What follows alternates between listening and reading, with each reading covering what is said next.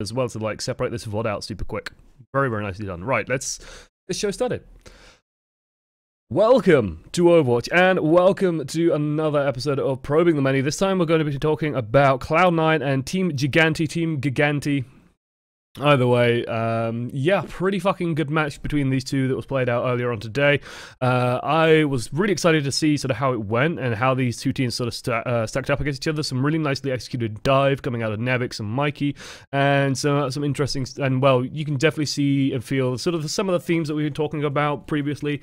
Uh, Tracers in particular doing a lot of work. Um, some tactics that are sort of in vogue at the moment as well, being used on Kings Row, for example. So it was all fun to see some of this sort of come out. So. Spoiler, one of them wins, yes. One of them does win. It's a close series. It's a really close series overall. So there we go. Let's let's mute the lovely Bren and ZP.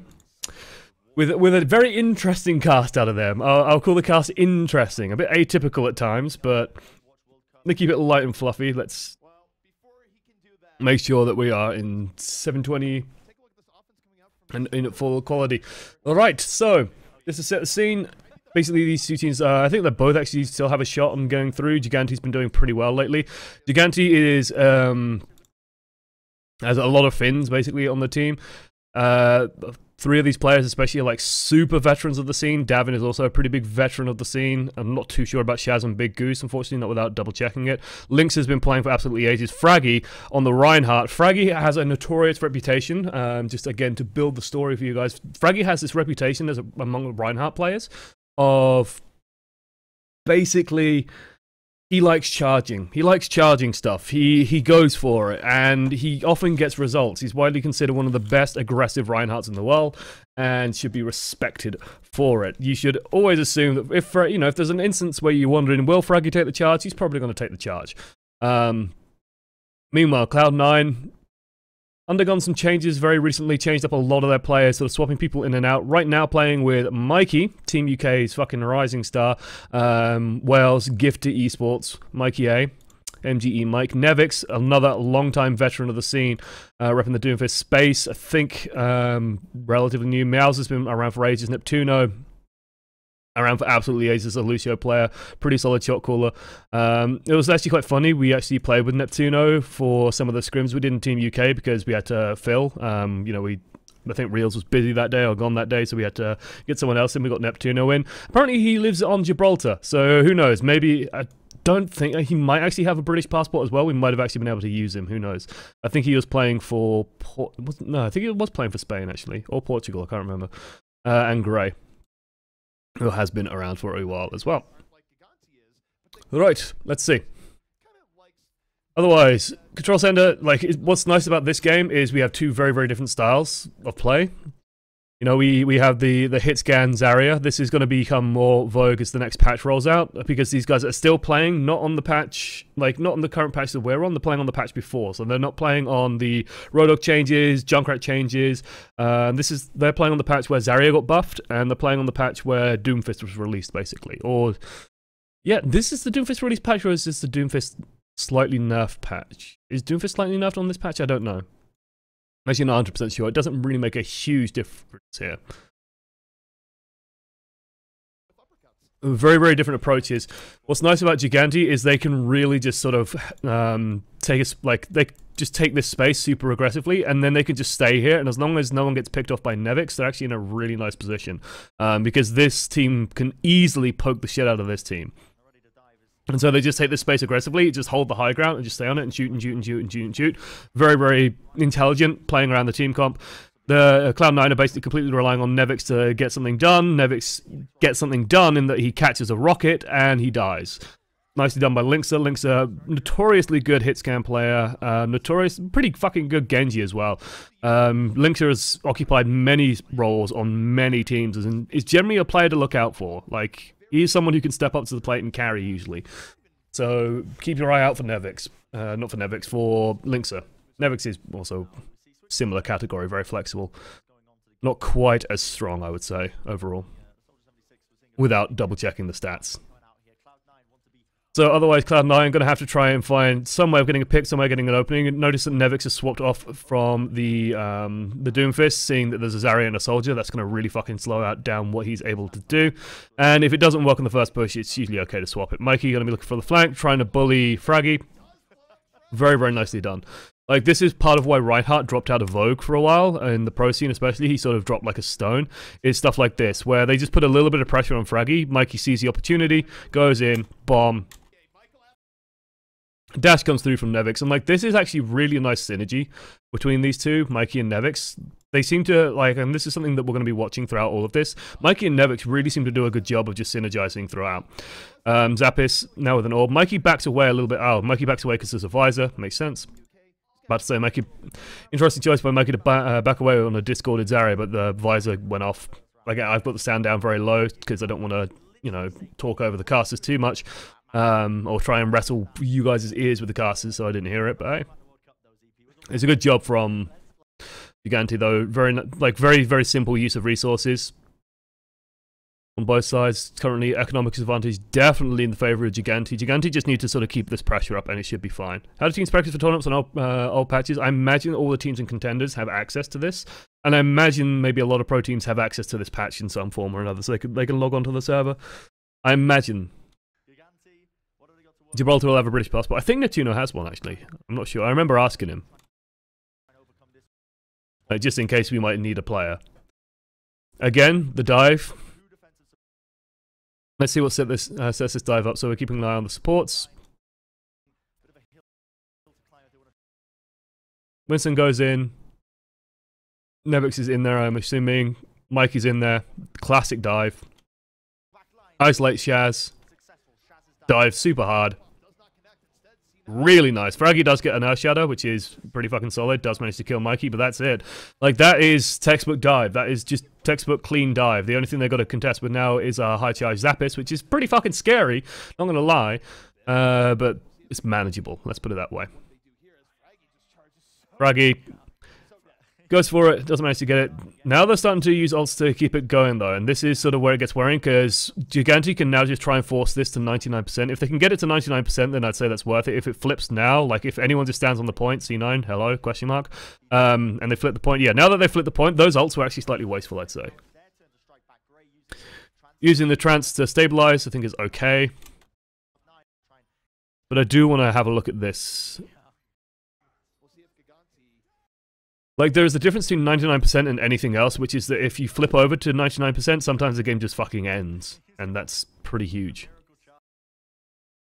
And so by committing, like, this resource... Big Goose. When did you commit Sound Barrier?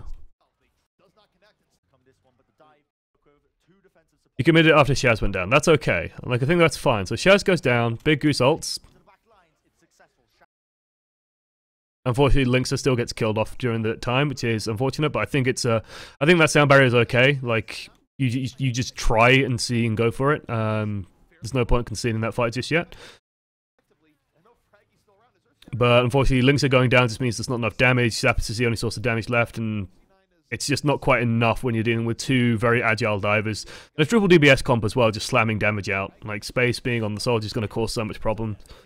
Um, yeah. And then that just seems a bit superfluous, I guess. Like, they needed to just fight on the point a little bit more, but Space commits the visor. And that's just going to clean everything up. Because this is a problem now for Gigantti, because basically um, they they did manage to get Gray to use his ultimate, which is okay. Like that's that's pretty good. That's pretty fucking solid. Um, because that means that the like the economy here between the supports is equalized. But the big difference is like Linkzr has almost got an ult going, but Nevix He's going to have a Dragon Blade up and running first. So the next team fight, he knows there's no um, Shatter to worry about because Fragi used it earlier. He knows that there's no support ultimates on the field. Next fight should very, very easily be Cloud9's with a Dragon Blade. Uh, that's all they're going to have to do.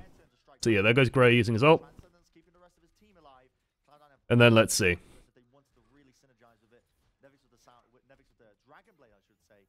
And so Zappis is swapping off the Zarya. This makes perfect sense. You want to be on the um, D.Va. It will stop your Zenyatta dying quite so much. Isn't Cloud9 the London team? Yes, it is. Again, this is why Reinhardt fell out. No, Fragi's going in. Fragi's going in. Fragi's going in. He's going in. He's alone. Dive on the back line. The Winston pulls the attention, creates space. Mikey gets a kill on Fragi. Nevix is going to go in for the back line. Start killing everything. Like I said, one team fight. And there we go. That's all they needed. It, it was good by C9, but they used every ultimate they had to try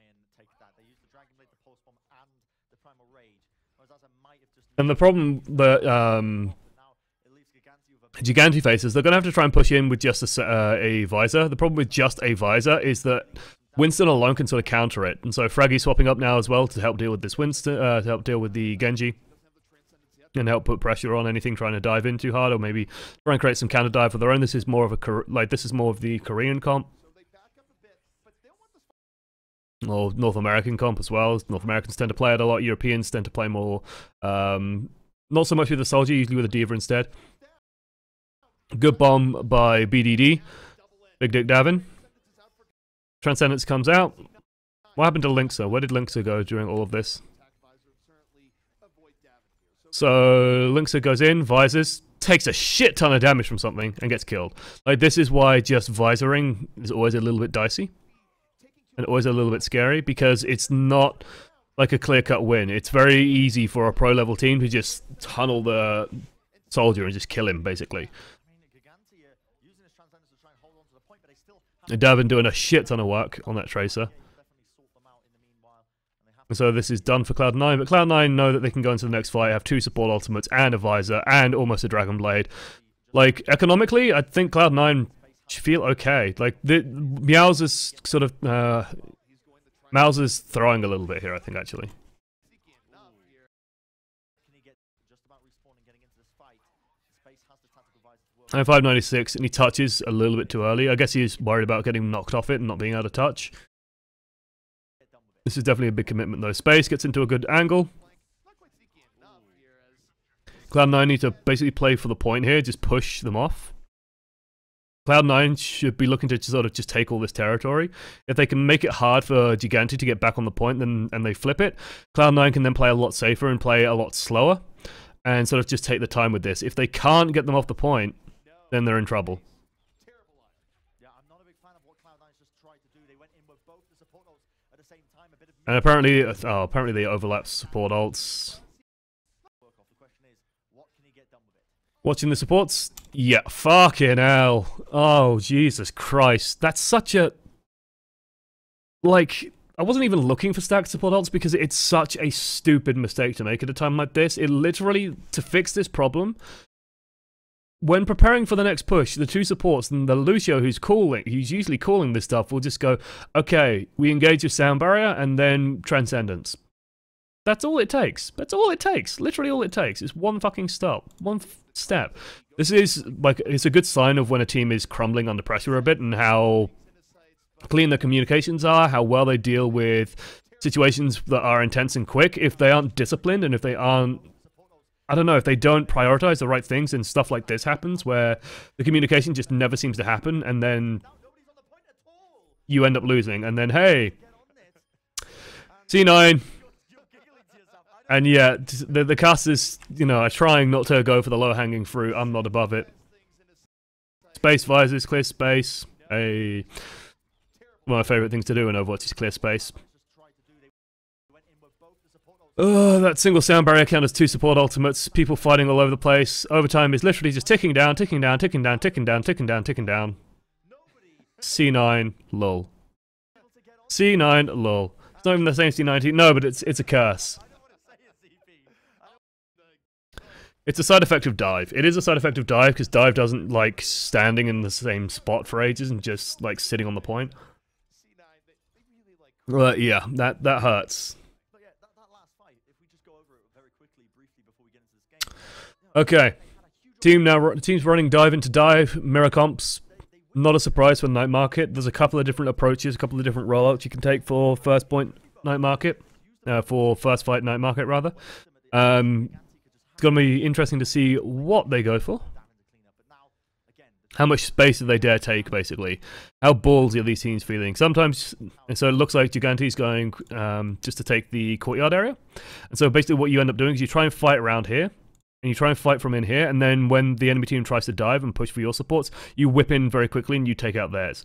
So you have like this, almost like a rotation where, you know, these guys go this way and then come back out this way. And you sort of bypass each other and try and work as quickly as possible. The nice part about this, though, is it's very easy to transition into fighting on the point if you need to. Cloud9 don't take the bait, they go and dislodge them from the courtyard, so that's forced Team Gigantti into the back foot, and this is actually really bad, I'd say, for Gigantti. They have to be very careful. Cloud9 just have to basically play it calm here, poke them out, and then just prioritize on trying to get a kill, but they have positional advantage right now. They can just move on to the point if they need to. Meows are getting focused, but Nevix gets first blood. Good job, Nevix. Nevix pays for it, unfortunately. But D.Va's demaxed as well. Now it should be open season for Mikey, especially. Okay, Big Goose got the boot there. I was about to be very disappointed. Unfortunately, one team has a D.Va, one team doesn't. Basically, Cloud9 can take this slow and just... They want to extend the fight for as long as possible because that defense matrix absorbs so much damage that Mikey can just kind of do what he wants here and do shitloads of damage. So can the Zen, um, Gray. They can both just kill everything. So you can see Cloud9 could never really advance because they're just taking so much damage every time they poke their nose out that they have to back up, wait, regroup, and get back together. Some good kills coming out of Davin, though. This is why Davin is considered a rising star. Um, he's been doing work. Forces out an early sound barrier as well, just to try and maintain the point. It's a good bomb from Mikey, but I think it's too little too late here. D.Va Bomb also goes on to contest the points. Not really going to do too much. They do manage to get Sha uh, yeah, Shaz to use the barrier. Uh, not the barrier, the... tired, clearly. The Transcendence, which is actually pretty huge. Nevix commits Dragon Blade to this. I don't like that at all. Again, this this is a lack of like Nevix, Nevix. What what were you expecting to happen here? What? This isn't the ladder. Come on, man. Discipline. Discipline. Because what's annoying about that is next fight, Next push, they can just go try and focus down Big Goose because they saw that Shaz used Transcendence, so they can go and put pressure on the Lucio or try and blow up the Zen, but just go and pressure the Lucio. Uh, they can even just dive the Lucio with the Dragon Blade and kill him before he even touches the floor. Uh, stop the sound barrier and then just win the fight off the back of that. Now they're fighting from a clear deficit and they're going to have a real fucking hard time doing it because Linkzr has his Dragon Blade and that's going to end the team fight. Cloud9 force their way in using Transcendence. Linkzr is just going to wait. Here comes the blade. One. Trying to get rid of the D.Va as well. Sure, why not? And done. Clean, easy for Gigantti. Like, that was all lack of discipline from Cloud9. All lack of planning, I guess, and lack of shot calling, and lack of awareness that there's no point in losing one fight just to lose the next as well. Like, you've got to be so careful with the resources you spend in Overwatch, and if you don't play that carefully, then you're going to pay for it in a really, really big way.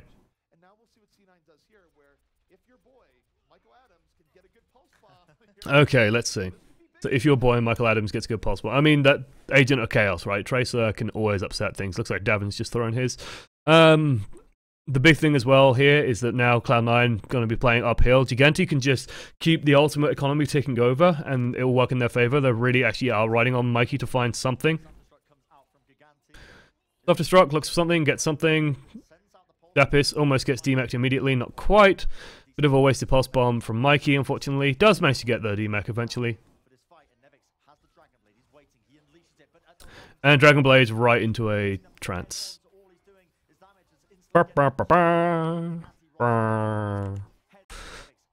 Again, this is just bad alt tracking. This is just bad keeping track of who's been using what and in what fights. Um, Nevix is just a little bit too eager to just pull it out. He needs to, to be a little bit more calm about this.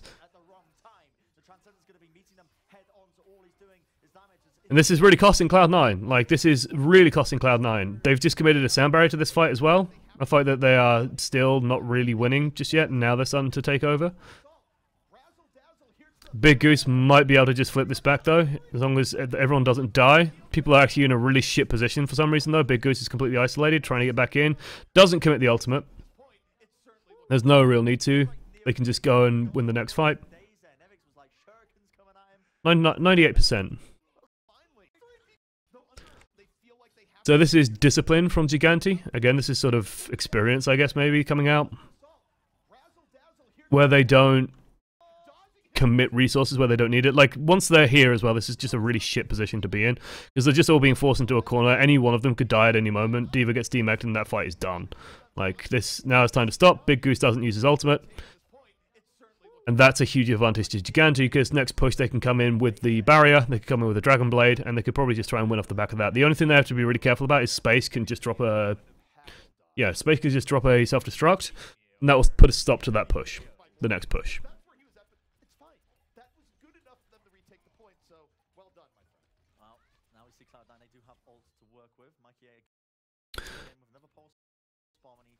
Dive going very deep for Gigantti, gets Gray's ultimate, that's fucking enormous as well. Gigantti can just rest back. Linkzr is licking his chops at the moment. Linkzr is thinking, oh fucking hell, I can I can win this game here and now. Draws the Dragon Blade, has Sound Barrier on him, let's see what he gets. Uh, this is the wrong Genji camera guy, Linkzr gets one, gets Neptuno, who has the ultimate in storage, gets Gray. Looking real fucking great right now. Mikey does eventually bring him down. Both supports are now dead for Cloud9. And yet Mikey is carrying, because Mikey is a fucking god. This is, this is why we, we brought Mikey on Team UK. Kappa.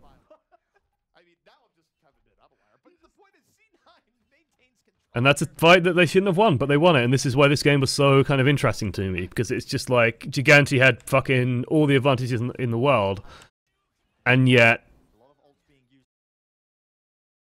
sort of the knock-on effect of this kill just fucking reverberates through this entire fight, right? Mikey beats Davin. And so Linkzr then commits, gets Neptuno, gets Gray, and then pays the price for it by dying. Both DPS now dead, both supports dead. And then you're literally relying on the Nevix Mikey combo. He gets something done, Mikey gets a good bomb to demec the D.Va.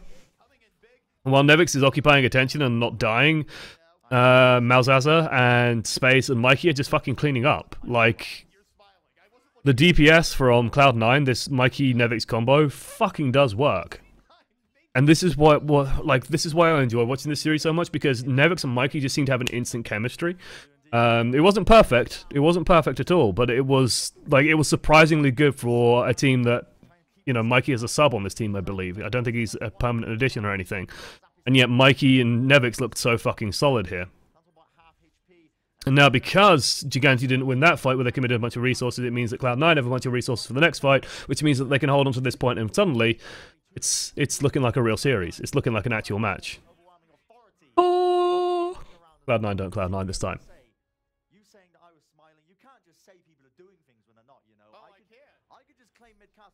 Ugh.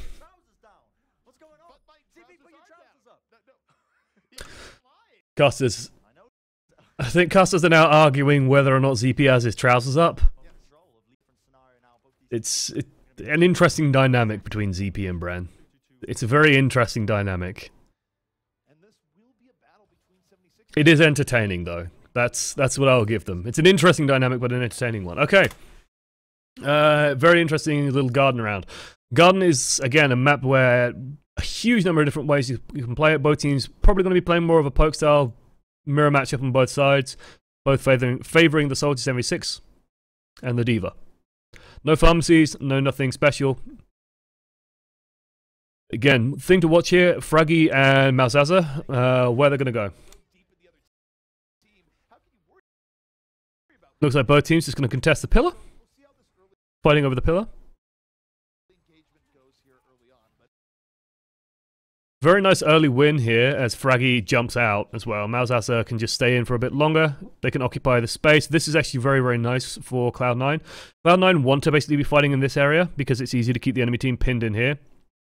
It means that Mikey can sort of play around here. He can even go back here if he really wants now. Um, and especially because Davin has been sort of isolated, the, the danger of this positioning is if the Tracer sort of comes in from the side. Uh, so from this pathway over here, the Tracer can uh, kind of get onto the back line somewhat easily. But that's not happening at the moment as Davin's forced back, Fragi's forced back. This is going to set Nevix up in a nice position where he can just sort of lay down a huge amount of covering fire. Still no first blood yet though, but the, again the nice thing is Nevix is in position where he can drop this heal field, so this is just all healing, this is all just these guys being rooted in this position. Already has a fucking visor. Linkzr falls off the map, and that is going to be that. And this is all I'd say off the back of Fragi jumping out. Oop, too far back. Like, this entire first fight dictates a huge amount as well. Fragi gets discorded and just like panics and jumps out. It's kind of strange.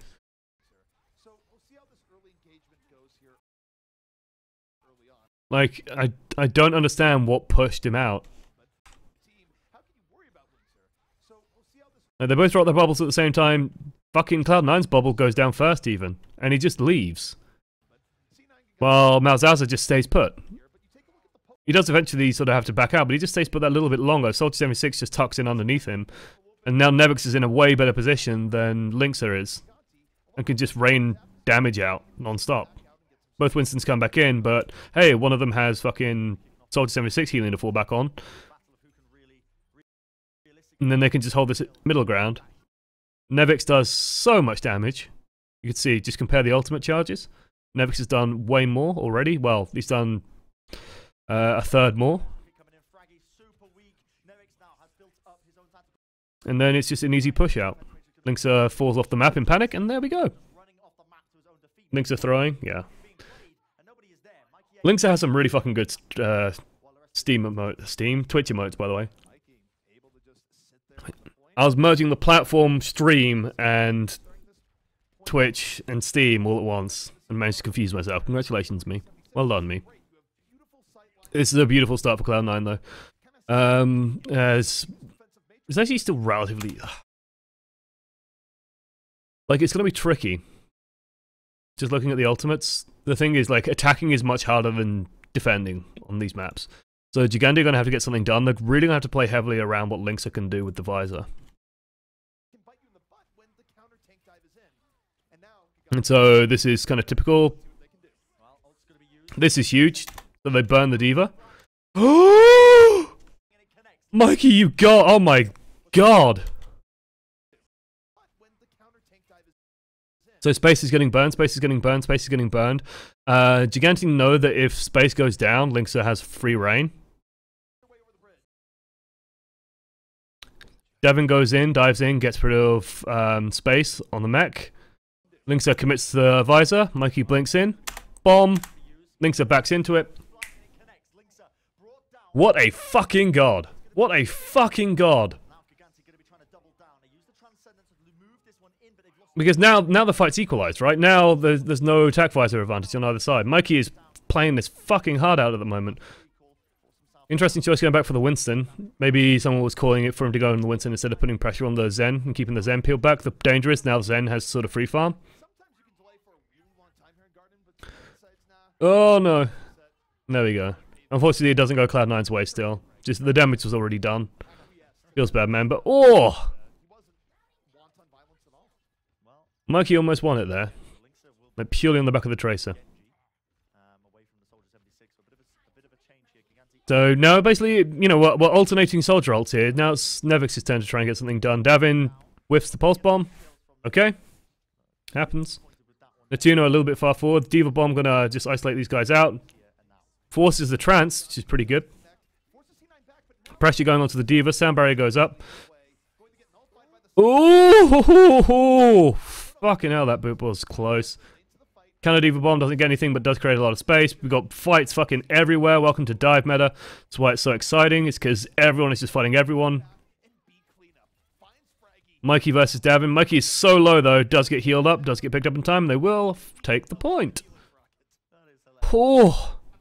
This again. This is why fucking. This is why I think pros in general tend to. Some of them at least like dive meta. I imagine the tracer players especially like dive meta because it does feel very skill based.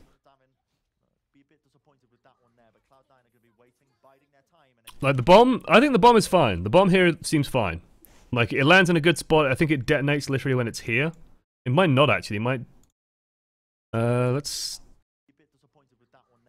It might detonate just behind the wall. and they've got ults to use. No, these guys are just out of range. They're okay. Forces the trance. A-okay. Like, D.Va Bomb for a Transcendence is pretty good. She's back in the mech. Sound barrier goes up, keeps everyone alive. Nevix can't ult just yet.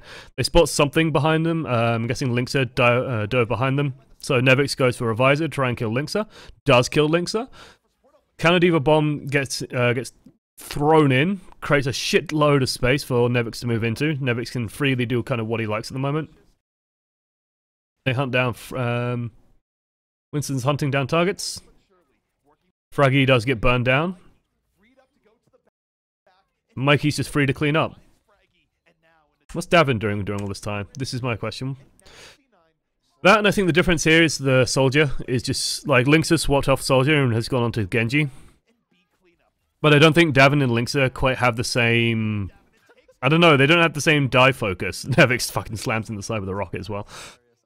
Like, I don't know. There was an opportunity there when that D.Va Bomb went out for them to isolate the Lucio or isolate something, Davin and Linkzr, and they didn't manage to do it. It's just like Linkzr went in and was completely on his own, and Davin wasn't there with him.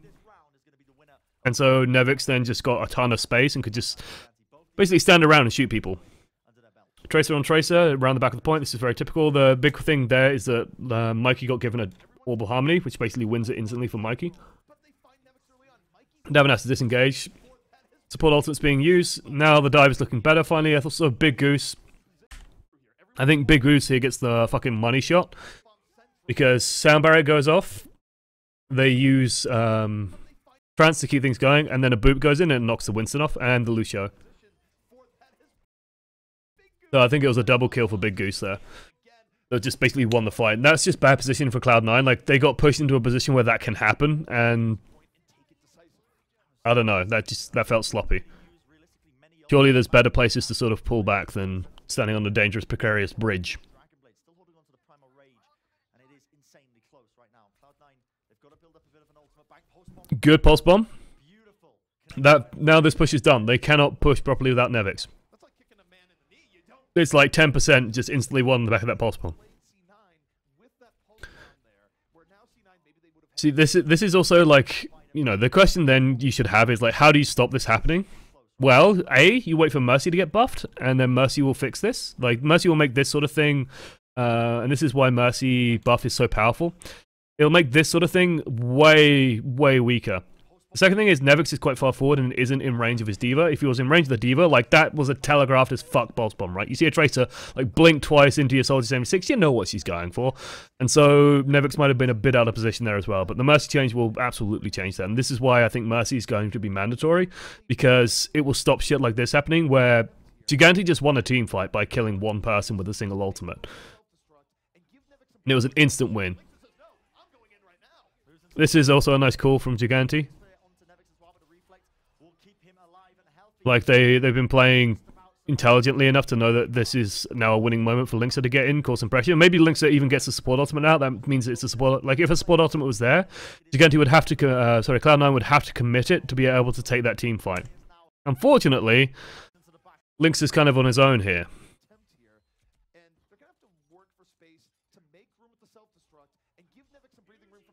That and I really don't like that dash. I really don't like that dash at all. He gets one. Forced to deflect the visor. Does end up getting him.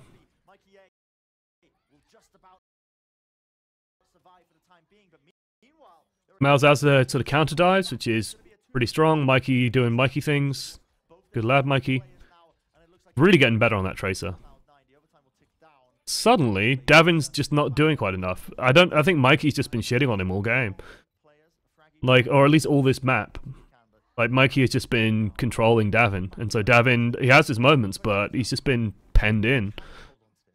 Maybe Cloud9 are focusing on him. Maybe Gray is putting a Discord orb on him, uh, harmoning Mikey a lot as well, just to make sure that Mikey can beat Davin.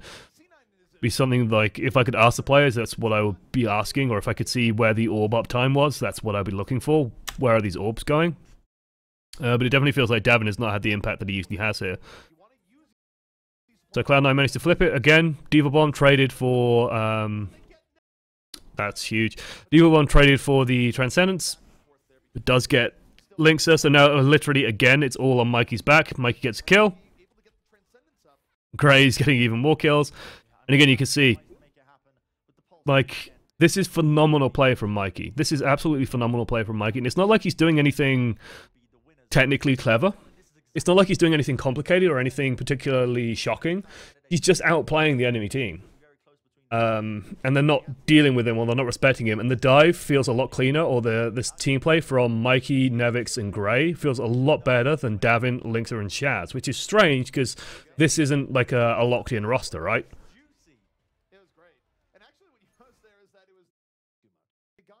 Like that's that's not a locked in roster. So why is the team play there better? Who knows? He moves and shoots things. He moves and shoots shoots things very well. But it's an interesting thing because one of the big issues we had with Mikey on Team UK was getting him to flank more, getting him to be pro proactive, um, on the enemy backline, but here he's just killing the front line. Like, here he's just killing the front line and he's getting away with it, which is probably a sign that Gray is doing a lot as well. Um, probably a sign that Gray is doing a fucking huge amount. And then Nevix is just putting out so much damage on the same target that the, the focus is just better.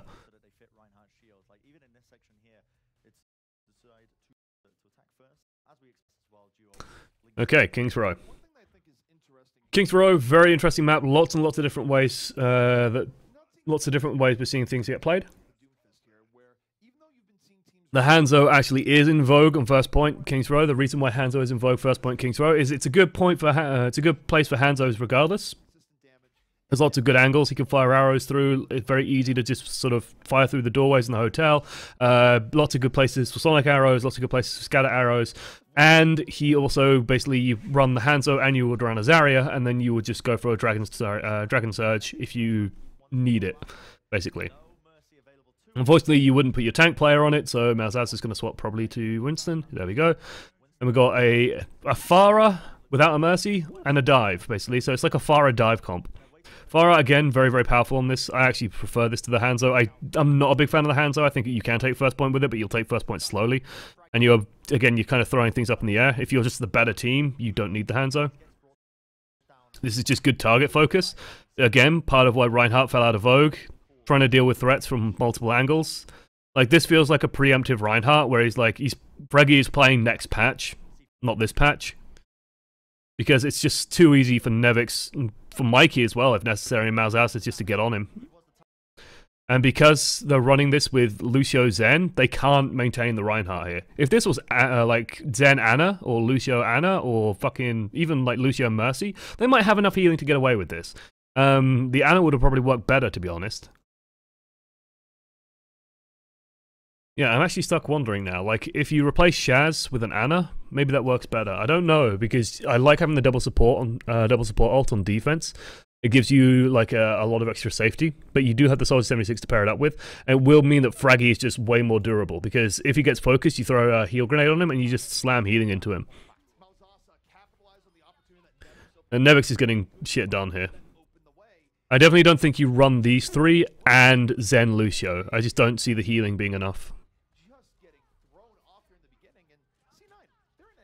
So now the pressure is mounting. Nevix is looking for good angles. Maybe you can find some. Like I said, Nevix is a really big hero pool. Like, this is not surprising to see out Nevix. We've seen him play Soldier, Genji, and now Pharah, all in one series so far. This guy has a huge hero pool. He's also a pretty fucking good Widow as well. Um, he has a respectable Widowmaker. Unfortunately, unfortunately, they're just lacking kill pressure. Again, this this is sort of Mikey's weakness. Like, why is Mikey here? Like, what what is what is a tracer who's bouncing around in this area actually doing? When all the enemy team is sort of bundled up back here, Tracer should be looking for something else to do. Uh, putting pressure on this Zenyatta, maybe putting pressure, like flanking all the way around or flanking around this way. Should be looking for a better angle than going in from the front. And this is sort of Mikey's one issue. Is he when he's sort of falling back to a default behavior, he will fall back to this kind of behavior where he's just in front of the enemy team, shooting at them and like this feels unnecessary. Like there's no way that a tracer does anything at this instance. So then he's forced to back away. He's forced to uh, recall. Zappis has built up enough charge that he can start killing stuff. They commit support ults to this. Okay, fair enough. Cloud9 stop committing resources. They back up, regroup. It's good, good, good, good, good. Mikey just needs to get out. Mikey dies. That's bad. And okay, they're just going to regroup, set up for the next push. They have two support ultimates coming online. Gigantti only have one. It's okay.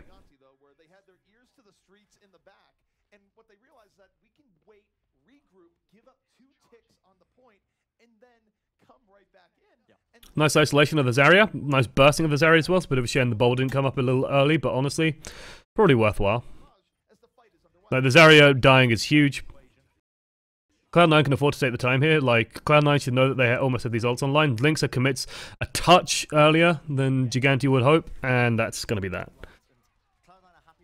But Cloud9, again, they can let this go. They can afford to let this happen. Like, this is no big deal. This is MBD.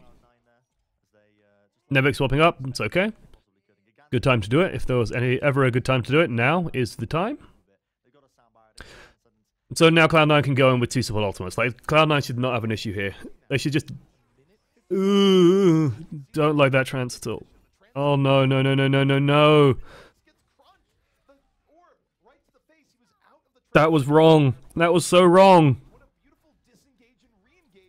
Okay, so... Ladies and gents, uh, it's, it's very, very easy to see what happens here. It's very, very easy. It's actually completely fucking obvious. Um, so Cloud9 have a choice, right? They can engage...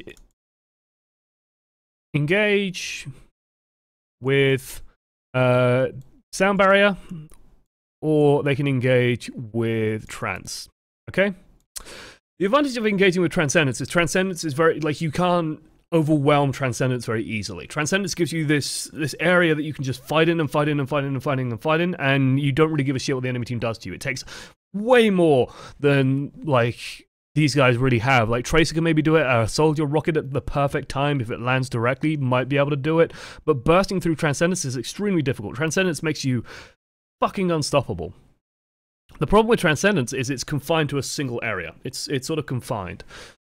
So, Transcendence is really good if you are just going to stand on the point and shoot and shoot and shoot and shoot and shoot. Like if they're a running Soldier, um, well, they have a Soldier, so sure, but if they weren't running the Tracer Genji and Winston, Trance would have been a great start here because you just roll, roll to the point, stand on the point, and say, hey, fight us. And the enemy team can't fight you, so you win.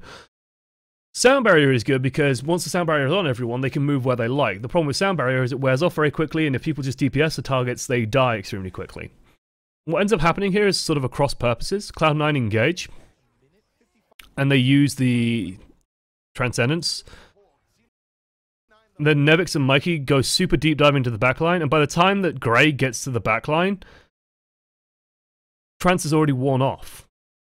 And so their plan, as such that I can see it, was basically we'll engage super hard, dive the supports as like we'll dive balls deep on their supports, and then we'll kill their supports. Unfortunately, Gigantti just back up.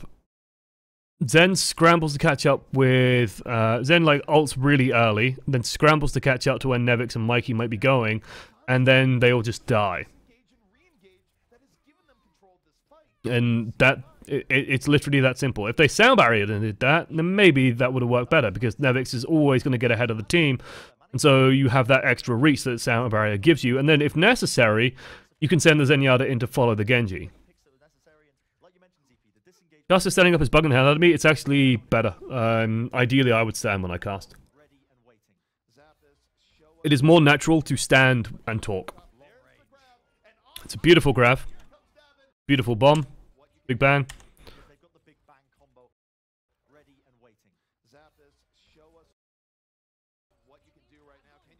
Like, this is a, a bit of a ballsy grab because there was a Genji there. And he had deflect, so that could have gone very badly. Combo ready and waiting. I just I want to try and see the full like sequence of events. He probably he read where Nevix was going. He knew that Nevix wasn't going to catch that. It's a beautiful grab. It's a beautiful wombo. Very easy, clean. The nice thing about this though is it's given Gigantti time to get both their support ultimates back online. So now Now Cloud9 are in trouble. Now Cloud9 are in a lot of fucking trouble because they haven't seen Shaz use an ult yet, Big Goose use an ult for a while. Uh, they've seen them use ults, but they haven't seen them use them for a while. So they know that their time, the window opportunity is sort of run out. He wasn't playing into a D.Va, but still, very a lot of confidence for that. And then there's a pause. And there's a pause for ages. If I remember right. there you go. All right, we did it. we successfully stalled. Excellent. But Cloud Okay. So game resumes. Uh, here we go. What's nice about pauses is at least it gives the teams time to sort of have a tactical appraisal and see what's going on. back into it. Let's get the, the tension back up because they've got 40 seconds to make something happen. Still running the triple DPS as well. Not running the Hanzo. Neptuno kills Fragi. What the fuck happened to you, Fragi? Fragi, what are you... Back up because they've got successfully stalled. Excellent. But Cloud9 Fragi jumps into the back alley and then dies. This... Okay, he's got Primal Rage, but I want to... Like, this is a triple DPS comp and your D.Va is not there to protect you. Look how quickly he dies. This is a thousand hit points. Everyone just peels back and kills Fragi. Okay, step one done. We got we have a pick. We can now push out. Lynx is even being forced to reposition. now Now they're just going to try and find targets to, to pick off one by one. Gray gets a huge pick on Linkzr. That's a, a massive ultimate that's not going to be a part of this fight. And suddenly these support ultimates are, are kind of irrelevant because Shaz, like, he can ult now, but it's... It, it's struggling. It's real stru- really struggling. Neptuno goes down there before he gets an ult off. What is this fucking clown car of a team fight? This is one of the weaknesses of Tac Visor, is that Winston alone can counter it. Fragi a bit of a monster, and then this is a moment that I found fucking amazing. And this is where you really start to see the coordination start coming out, I think, from Mikey and from Nevix. So the phone box, made of sturdy stuff, manages to save Mikey and um, Mao from the D.Va Bomb. Grey comes back in on the Doomfist, instantly gets deleted. Like, Grey has swapped off Zenyatta onto Doomfist to try and buy some time. Watch Mikey. Just watch Mikey. Just duking, keeping the point alive as well. Just tapping the point using the, the box here. Suddenly space gets in, gets a little bit of space. And suddenly, Nevix is now with them. So they spot out that Big Goose is out of position a little bit, but then Nevix finds the backline, spots out Shaz, is alone. Nevix confirms a kill on Shaz, Mikey keeps the point alive. And you just see them sort of flexing onto each other. Target focus looks good. Now suddenly Winston's on his own on the point. They could just take the time. Malzahzar is back. Clean up. Zappis is coming in. This is now already finished. But it was just like this was where I was super fucking impressed because it's like the target focus seems really, really good. So while all this is happening, Nevix has made the decision to sort of push in this way, I think. That's what's happened. Gets onto Linkzr, kills Linkzr, calls that Shaz is on his own.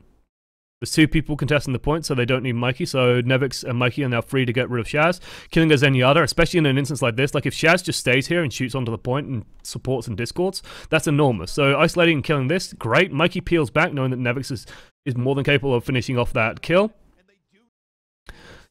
And then suddenly, that synergy just starts really clicking. And it's really, really nicely done. under fire from all ends. And though Davin has been great so far, he's still alive, but not any longer. Yeah, this should be it now. I mean, it was looking Grey on the Doomfist. What are you doing?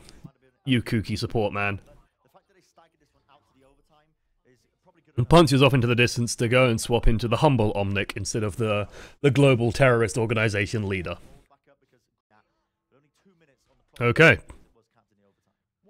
Any other change-ups? Space moving off the Soldier 76 instead of going on to the Zarya. It's an interesting choice. Mao swapping onto the Reinhardt.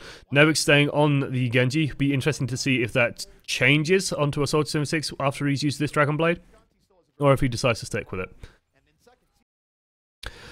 The the one scary thing here is that it's Fragi versus Mao, and like Fragi is a fucking legend, so it's always gonna be scary. So an okay pulse bomb doesn't really get anything unfortunately, but but forces the position against Spirit was there. Zappis has used his bubbles, getting focused down, gets drilled down. Again, target focus. Like the way you beat Zarius is you try and bait the the bubbles. Once the bubble is gone, Nevix and Mikey both just drill this high energy Zarya. Dead. Okay, done. Nevix commits very aggressively on very low hit points and gets fucking hell. Oh, shit that should not happen. You get team wiped by a Genji on like 100 hit points. Linkster does a good job of getting some damage onto him. Doesn't quite get enough. Nevix just like slaps him on the bum with the Dragon Blade as he goes past.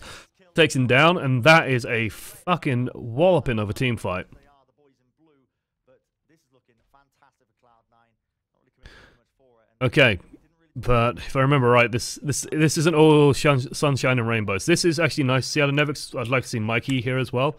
Um, in my mind, if you're playing dive, like the way I think of it is this: the enemy team has a certain amount of time, right? They take to get from spawn to the objective.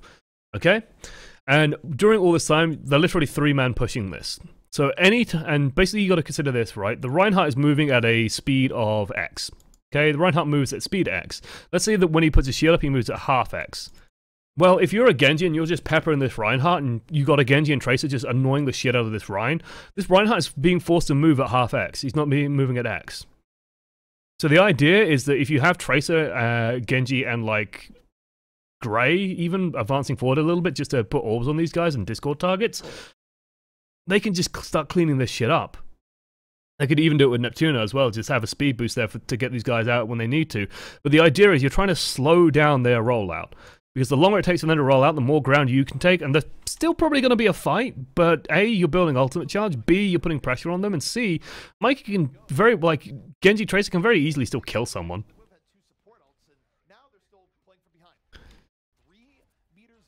This is where the target call has to be fucking perfect. This is a good opportunity for Nevix and Mikey to get onto. Like, the important thing to note here is there is no D.Va. Shaz should be a target of super high pressure. Big Goose commits with the barrier though, and before anyone takes initiative on Cloud9, Davin's already killed everyone. That's a huge waste. My question is, where was Mikey? Mikey, what were you doing? You've been doing so well. Mikey's over here for some reason. Like during all this time, this is where you know communication could be a big issue. Mikey needs to be well, Nevix needs to be calling for Mikey, and Mikey needs to be making his way like to set up around here, for example. And then they can both engage super hard onto the Zenyatta. Instead, Clown uh, Gigantti take all the initiative. So they start contesting. Big Goose commits, and during all this time, then down. He's the Cloud Nine, like they they play they're playing dive, but they play dive passively. And the second they start playing dive passively, it goes wrong, right? You you got to play the you got to play your comp. You can't just play non comp. Mikey desperately tries to get out, gets hunted down and killed. Feels bad, man. Cloud9. Honestly, Cloud Nine should not wait for Mikey. Good, they should roll out because Mikey can catch up super easy. Graviton's coming up. What do they need to do? They have the support ult advantage. Two support ultimates to one support ultimate. Key here is to not panic. Lynx is in a really nice position, but can be dived. Nevix dives him. Good job. Excellent, excellent, excellent. Okay, it's time to go aggressive. This is unfortunate. Really unfortunate. And the fact that Fragi gets the kill there was. Ugh. Ooh. of Space gets a grab, but it's not good enough. we're talking about. You can't just let off these Gravitons. Little Cloud9. Oh, God. This team fight was a bit of a clusterfuck. Like, it all goes super well because this pick is huge. This pick is absolutely huge. And then Fragi's a monster. Like, I think Mikey might have been better just sticking on Zappis. Either that or. No, Nevix, di- Nevix dies. I'm guessing Nevix eats a shitload of damage from a Zenyatta. Yeah, that's that's a Zenyatta chunking if I've ever seen one. Maybe a Fire Strike, I don't know. Unfortunately, Nevix eats a shitload of damage, gets taken out by the supports. Which is a shame because if Nevix was here to finish up Zappis, this team fight would have gone completely fucking different. Uh, the Transcendence saves Fragi here. And unfortunately, the Transcendence is too late to save Malzahzar. So down he goes. Feels bad. Sound Barrier comes out from Neptuno, but it's honestly too little too late. There's too many people dead already. Sent absolutely everywhere with little. And while the Graviton Surge comes through, there's no real DPS left except Mikey, who's just got Pulse Pistols. And Mikey, bless him, again, hero of our story, hero of this match. Just, like, imagine Like, I feel so bad for Mikey at this point. He's been fucking hunted to the ends of the earth. Nevix goes in with a very bold Dragon Blade. Beautiful Earthshatter coming out of Malzahzar as well, just to try and clean stuff up. And Nevix, I think, maybe a touch early with the Dragon Blade. Fragi gets back on the point. Reinforcement distance is now closer for Cloud9, so Cloud9 are reinforcing a little bit better. Mikey does a good job getting on Shaz. Unfortunately, gets caught in the graph, manages to survive. Just look at this fucking Tracer trying to harch out. Look at... I just I feel so bad for Mikey here. He's on like 10 hit points. He's got four people to fight. He's trying to keep it alive. He's making sure that Cloud9 are not Cloud9ing. Now, like 50 hit points. Hunted down by three people. Linkzr finally lands a fucking shot and down he goes. Oh! Oh! Hurts. Still, lack of refinement. Lack of refinement is how it feels. It was also a good job by Shaz uh, and Big Goose to deal with Nevix when they did, because Nevix going down early in that team fight. If Nevix could Dragonblade during the original team fight, they would have probably been able to win that. So, good job by them. Poor job, good job by Nevix as well for killing Lynx. And so it's kind of back and forth. Like this is, was a very even match where people were doing pretty good things throughout. Let's see. Spenny dominant Spenny Moore Clothiers. The C9 Oh. And Mondata. Oh, bless. Cloud9, No, I gotta Okay. Right to see Cloud9 uh, defend. Right to see Gigantti come out. They are not going to run the May. Although Linkzr was actually Linkzr was one of the first people to be an advocate of May on defense. He's supporting to advert, uh, defensive May on King's Row. Used to be Linkzr's jam. Ages ago. Ages ago. He was one of the first to do it. Okay. Running the Hanzo. Like I said before, Hanzo can get a lot of picks, can get a lot of work done. Um, like it's very, very easy to just find angles to get some damage done. Like you see Malzahzar took a shitload of damage from a scatter there. Uh, easy to find angles. Like through here, you just start pinging arrows through. You're probably going to get someone. You start pinging arrows from this way. You can get up here and start pinging arrows down. And then if it all goes fucking wrong, you have uh, Graviton Surge, you have Dragon Strike, and you just and even you generally get a dragon before you get the grab as well. You can just fire a dragon through here and then move on to the point. And then second dragon, you can probably just use it with the uh, Dragon Surge. this first checkpoint of King's Row, just straight through that choke point, and it's not quite working out for them just yet. I mean, the game Otherwise, you know, it stops soldier standing up here, for example, because if Hanzo shoots anywhere in that fucking window, the soldier dies, um, because it's Hanzo. So yeah, it, it really does limit some of the stuff that uh, the Hanzo can do. Unfortunately, Lynx is getting pushed back, and nice for Cloud9 is that they are playing like aggressively and they're pushing on this. Unfortunately, for Cloud9, Hanzo does that to Tracers. Hanzo versus Tracer is honestly at the highest level. Generally, like a Hanzo favored matchup, it's actually pretty fucking good for the Hanzo. Nevix doing a good job trying to juke, but honestly, losing Mikey on the ground loses them a shitload of pressure, and even Davin was now going up to displace uh, Nevix. There's no more pressure. They can just move on to the point and take it. They don't even need to worry about the Dragon Strike. They can keep it because Dragon Strike is still good on phase two, so it has a okay transition. It's just he's probably going to use this uh, Dragon Strike. Maybe he might even keep it for the Dragon Surge and then swap. actually pioneering in the field right now. not realized. Maybe onto a Genji, maybe onto a soldier. Now for Gigantti. Cloud9 holding very aggressively. It's kind of an interesting hold. I think if I remember right, this hole goes very badly for them. As Malzahzar drops his barrier and there's a Hanzo, and they don't respect that, and so the Hanzo gets a scatter, does a shit ton of burst damage. Once the Reinhardt is down, Fragi is now open. So nicely has the drag. Easiest kills of Lynx's life. Stall this one out as ne- Cloud9 reacts slowly, rants this, even though they're already two down. Nevix eats an arrow to the face, Hanzo things, Kappa, kills Batman, and then this fight is done. Very strange hold, I'd say, from Cloud9. also the transcendence in that fight. And again, did not work out. Bringing Nevix Like, I do not like. Like, to me, okay, to me, the important thing about this is you shouldn't use these ultimates. You shouldn't use these two support ults. Like, they should not be used.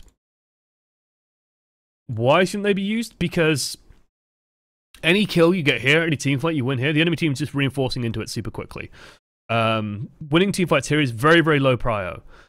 Like, if Gigantti commit everything, then sure, you can maybe use, you know, a Transcendence. But honestly, let Gigantti commit shit here.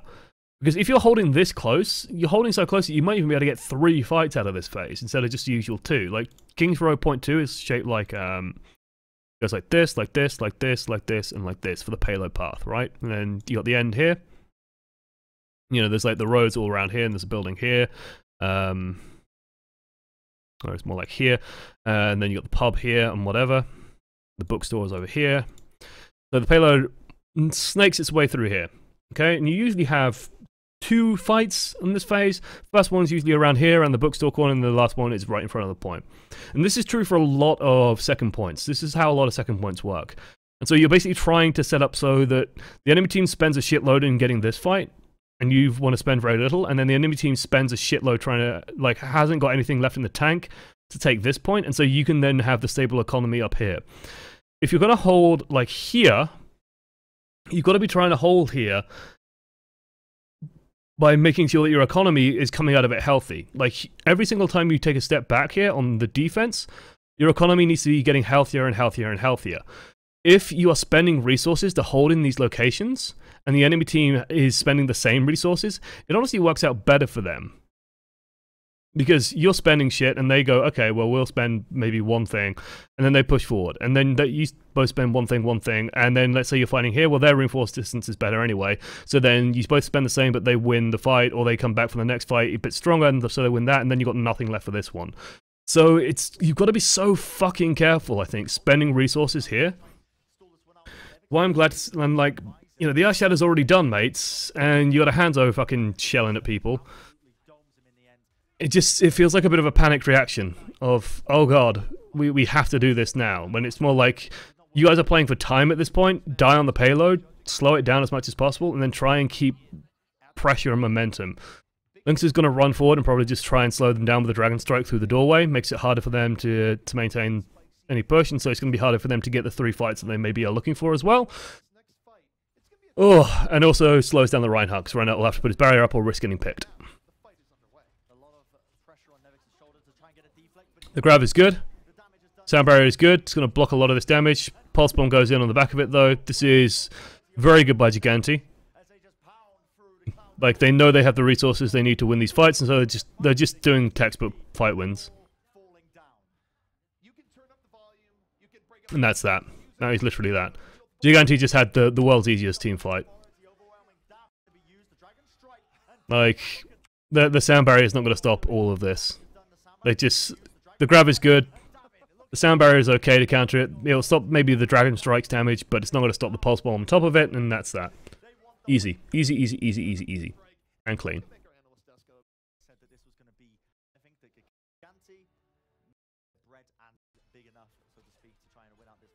Is this Nevix ulting with like 100 hit points? Literally, I think he literally dropped down to one hit point there. Yeah, he was one hit point for a second. If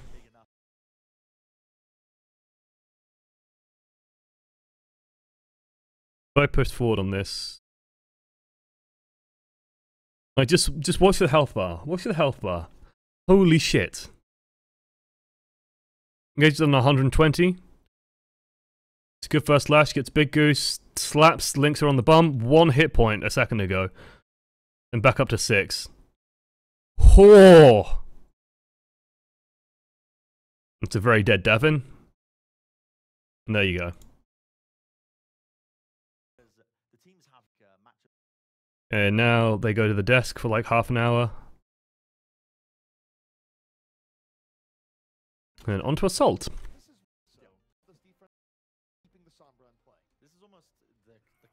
Okay then. Let's see. I like this offensive team lineup coming out of Cloud9. Actually, I don't. I would like this offensive team lineup coming out of Cloud9 if... What? You see, I like the attacking Reaper on first point Volskaya a lot of teams play around the the right hand room, and honestly, you basically you figure out where the enemy is holding, and then you just run into them and kill them. There we go. The problem is you don't do that on one support. You don't put Malzahzar on fucking Genji. I'm playing the Ana instead of the Zen, just to hope to not to get picked off by Shaz. 76 offense shouldn't be Otherwise, typical as typical can be. This means that C9, they're gonna be looking Let's see. move around on either the left or the right. The entire reason why you run a 76 here So again, they've got to be careful not to poke too much. They're just going to advance forward, try and make sure that Sombra doesn't get too much. Sombra tries to poke. Heat grenade comes down. Here. It's a bit of an early fight here, but Cloud9 get into a good position. Okay, now it's time to muscle out the room. Employ when you're up against a Sombra. You Okay, they can start pushing forward. Looks like Gigantti are not going to contest this room. This is actually really weird from Gigantti. This is really weird from Gigantti. The target focus has to be perfect from Cloud9. If it's not, they're going to have problems. C9 right now, they've done well to Why, well, Mikey, why are you following Winston around? Like, th- this is why Mikey can't do this. This is. It works out, but holy shit, that felt wasteful. Time. C9 right now. So. The reason why I don't think Mikey can afford to do this is like he sees that the Winston's on half hit points, but the problem that he's facing is that this is not like Zenyatta healing. This is not Mercy healing. This isn't even Ana healing. This is Sombra healing. Sombra healing is fucking instantaneous. Um, So Fragi survives for a while, then he jumps in, and he's like instantly back to a shitload of hit points. The problem is he jumps into the entire fucking team, and Linkzr ends up getting picked off as well. So now everyone just fucking shoots Fragi, and there's not enough defense matrix in the world to stop him just dying. it's gone. C9 just whittling down Gigantti from the angle. I don't know. It feels like Mikey could have done something a bit different there, instead of just staying on the Winston. It's just this. This is very strange out of Gigantti. Like this feels disorganized. I don't know what their plan is here. onto the board, Mikey. positioning. The intelligent deny him. You deny Gigantti. Because they they've like Sombra's very recently hacked the health pack in there. Okay, fair enough, whatever. So Sombra's hacked the health pack in there. She's probably got the health pack hacked here. What health pack are, are Cloud9 playing around? What what health pack are they using to fight? How are they fight? How are they setting up to fight? The the point with Sombra is that you can just keep a fight going and going and going and going and going. You get EMP super quickly if you just fight on top of the health pack, and then you win. C9 right now, they've But Gigantti just fall back from the health packs that they have don't use them appropriately and get punished for it, super fucking hard. Linkzr just gets picked off before he can even reach a health pack, dies. Fragi gets to a health pack, Shaz gets EMP, but Fragi just dies for it as well. Because they just let them take control of where the health packs are. Very, very strange. Very, very fucking strange. risky to use it here where they might not be able to kill C9 because they're just down. And then, yeah, that, that this point is done. So many players off the back of this. Again, you just don't use the EMP at all. You back off. You hack up the mega health pack that's in your base. Okay then. So they're going to save EMP for point two. Like they didn't even show any token resistance to taking that room, which is the weird part to me. Like just they gave their Sombra nothing. They gave Shaz nothing to work with. As such, Shaz didn't get EMP by the time the first fight was over. This is nice from Mikey. We almost fucked it up, but still. there to, to big goose. I appreciate the attempt. I appreciate the attempt. I appreciate the threat of putting pressure from that angle. I like the fact that he held on there as well. That was actually really nice. This is actually a nice little move. He jumps forward from Fragi. You can see instantly the D.Va reacts, goes, Ooh, there's a pulse bomb. Puts the defense matrix up. realize just holds on, backs away. EMP goes off. Counter engage goes super hard. fall through. And the disengage wasn't bad there for a while, but Malzahzar Oh no! Sleep dart's good. Davin almost dies. It's gonna be back in this room. It's cut down. I think Cloud9 fought a bit too hard there. Maybe. the EMP. Goes down. They they're not in too bad of a position at first. Space didn't get hit by it, I think, so he's just defense matrixing a shitload of damage. But the second that runs out, like the second Malzahzar's down, you and the especially once the mech is gone, you just die at this point. Like you stop dealing damage to the enemy team, you stop giving Sombra any chance of getting back into things, and then you just die, reset, go for the next one. eventually reset, and now we're going to be regrouping, ready for this next push up here. Gigantti ended up using uh, pretty much just Okay, let's see. that entire, entire fight, and that's how they cleaned that one up. So they've still got tons of stuff to work with, including the. second So what I I would like to see from Cloud9 is a very, very decisive push here. I would definitely like to see Neptuno go relatively early with an ultimate as well. He needs to use it aggressively, just because we know that Sombra used the ult. Like it wasn't a huge fight that happened, and Sombra used the ult. Uh, you know, it wasn't like a fight that dragged on and on and on and on. So the chance of having Sombra having EMP are limited. But once the Sombra train starts, you know, the Sombra train don't stop. The Sombra train has no brakes. And Neptuno, the danger that I see very, very regularly with Lucios is that um, they they basically never use their sound barrier because they're always afraid of getting it EMP'd. And so when there's a window, I like to see Lucios try and take it as aggressively as possible. Instead, Gigantti do something a bit different. They go super aggro. Like, honestly, I think... Yeah, I, I'm honestly okay with the sound barrier. I'm okay with the sound barrier being used.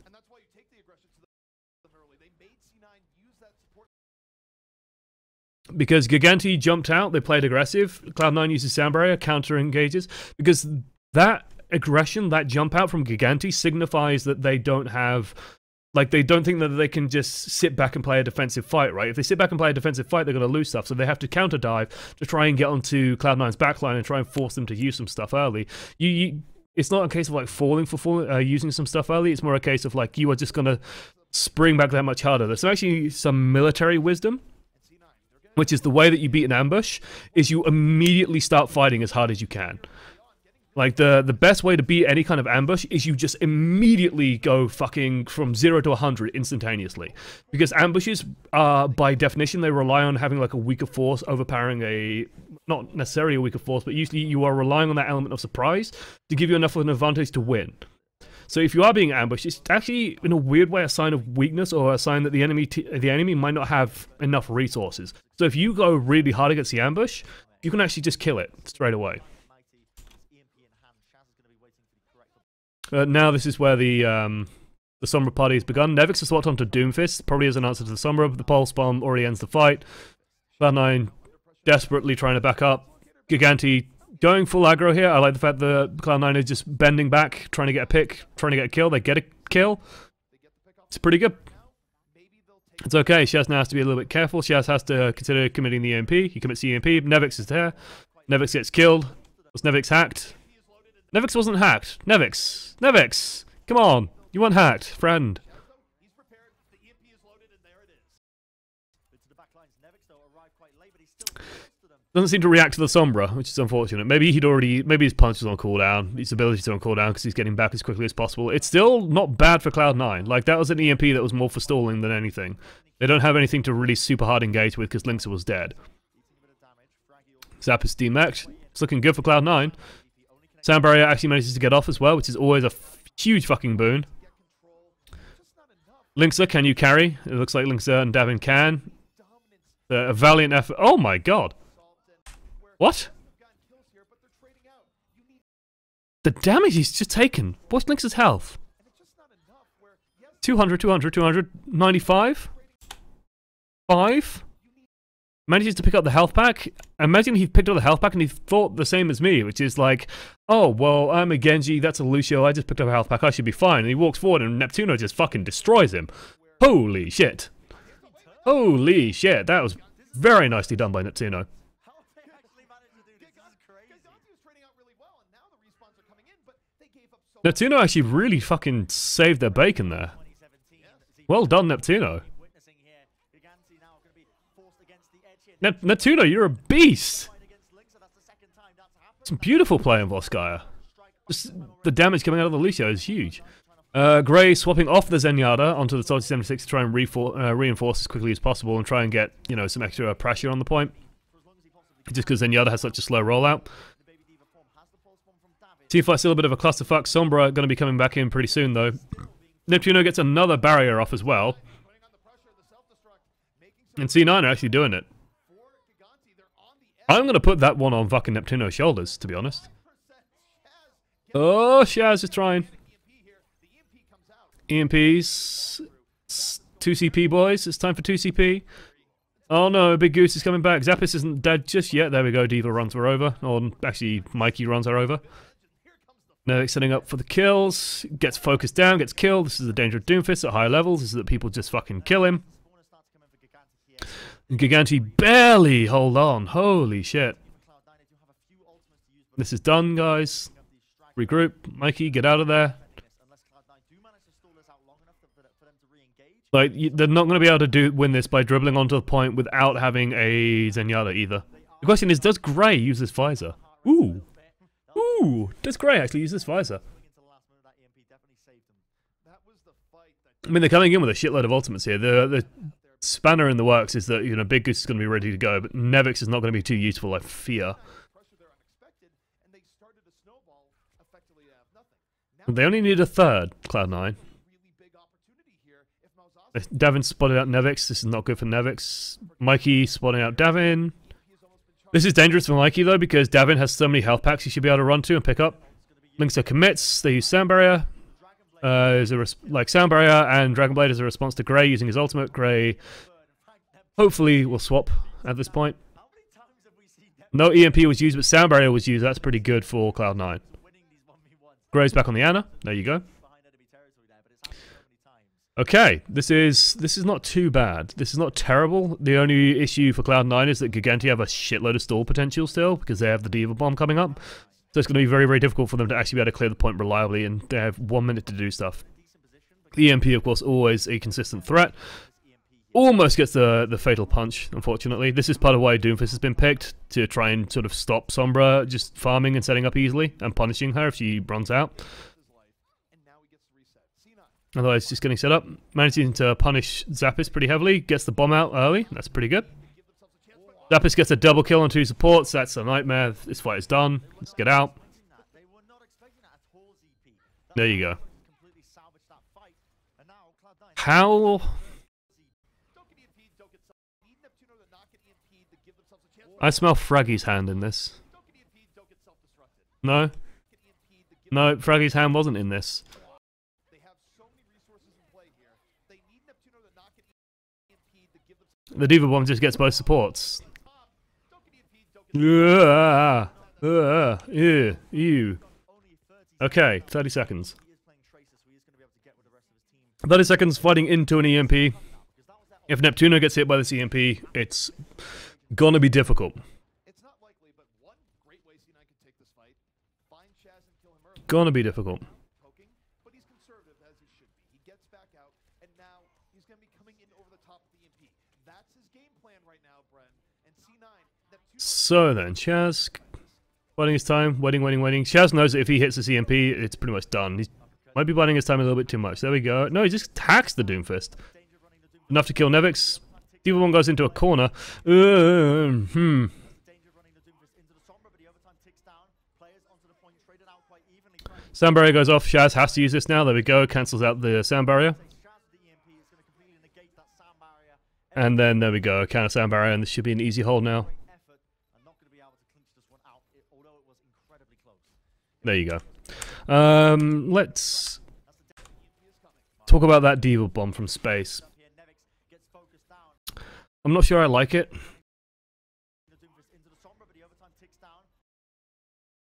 I don't know. I don't. I'm not a big fan of it. I guess I imagine Space was scared of getting hacked and not being able to use it or something, uh, or getting hacked and focused, and then you can't self-destruct, so you might as well just throw it in and try and get something. But throwing, I don't like throwing it into the corner of the point.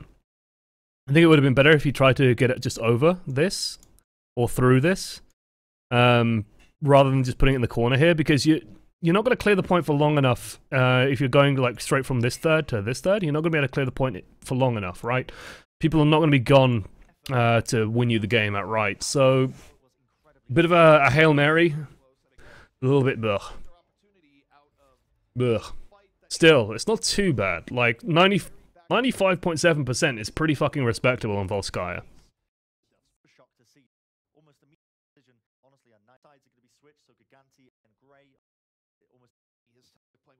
Lovely scenic shots of Volskaya. Forward, forward, forward, forward, forward, forward, forward. Okay. there. Yes. He's here. He's here. He Don't was worry. Diva all along. Dive from both teams. Cloud9 running the Sombra.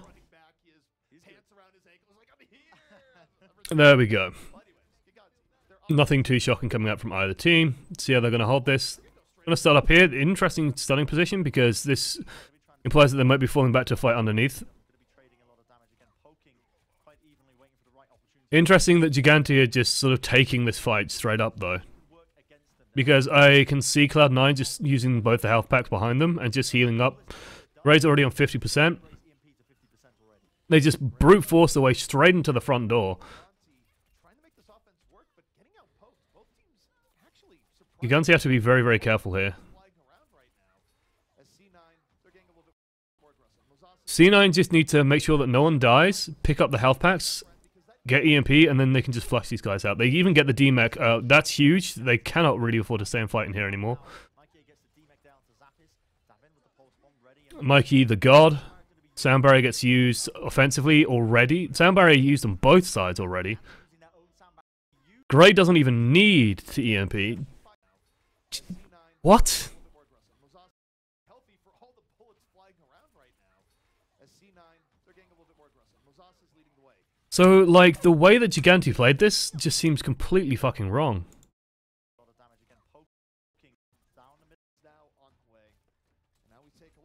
Like, first and foremost, I don't mind this. I don't mind this behavior here. Like, jumping in super hard, you got a dive team, Davin, Linkzr, Fragi, all of them can go target the Lucio. But instead, they turn and start targeting the tanks. And so the tanks just fall back. Like, Malzahzar's taking 50% damage. Be careful of this strategy because it And then he's going to pick up a health pack. And oh, look, Gray's just gained 20% ult charge. the. Then they muscle their way in here, just go straight through the front door. Okay. Fine, they take control of this room. And then they engage in this long, slow poke battle. Like Cloud9 do the right thing of just say, okay, you, you want to be in there, you can be in there. Just just keep tapping us. they're getting a little bit more aggressive. Malzahzar's leading the way. Just keep keep poking at us. Because we're gonna dive in here at some point and we're just gonna pick up this health pack and then Gray's gonna EMP and kill you all if you just keep doing this. Zappis ends up getting focused down anyway and killed. Just seems so strange.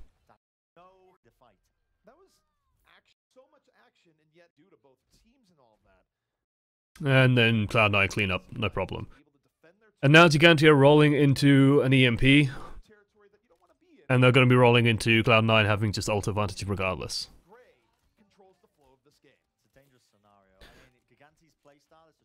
But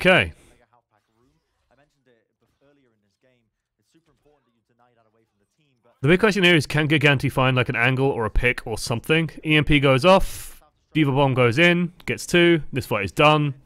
Get out, get out. Okay, good.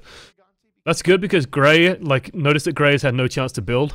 Like, Gray has n- no bounce back. So, the way EMP sometimes works is like you EMP, the fight goes on for a while, and if the fight goes on for too long, what ends up happening is like the fight ends and everyone's on 50% hit points, and then Neptuno just sits on speed boost, and then everyone just goes and picks up Sombra packs, and then Sombra's on 50, 60%. So, only has to do a tiny bit of building. Here, Gigantti, they've got ults to use. So, there is a big window here right now. Orphan comes out as well as the Dragon Blade. Linkzr again does an air dash. I don't know why Linkzr is doing these air dashes. I mean, he is playing with a Nana, so maybe maybe he was expecting the Nana there, but he, he did it before, and I don't like. To me, you air dash. This is an air dash, by the way. That's an air dash. You air dash. It's fine here. Uh, I'm being too critical. It's fine here because Shaz is exists on the map. You air dash when you have an Ana because it means that the nano boost is going to go on you. Um, there's no one else next to you. There's no one in the way. It might find its way onto Lucio somehow, but chances are pretty fucking good it's going to go on you. Um, don't air dash if you don't need to otherwise, because it's just like a big signal to the enemy team to oh shoot that guy, um, and they then go and shoot that guy. head on Nevix coming out on Nevix commits as well, gets Shaz, which is huge because it means there's no nano boost in this fight. Gray can easily hunt down the weakened targets because he's Sombra. That's what Sombra's very good at. Zappis and Davis, da- Zap- Zappis and Davis, Zappis and Davin doing some good work. Come on, Mikey, just play around the health packs. Okay, that health pack isn't hacked. That's a bit of a problem. but they've given C9 some life here. What? Nano um, Hmm. Hmm. Hmm. I'm, I'm literally going to go into chat and just...